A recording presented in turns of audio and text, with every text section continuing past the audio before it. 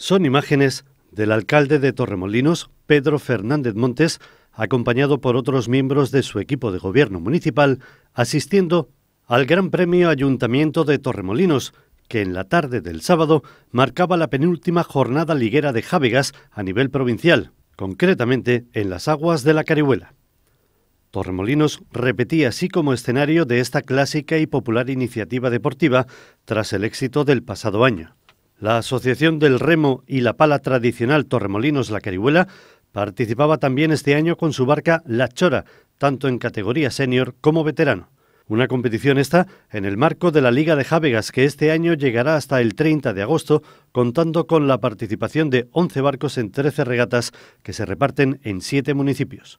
La Javega es una embarcación típica malagueña que tiene un peso medio de 900 kilogramos. Las barcas se lastran para la competición hasta que se iguala el peso de todas ellas.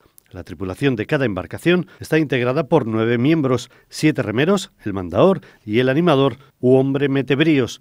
Por término medio, cada remero mueve un peso de 240 kilogramos por palada.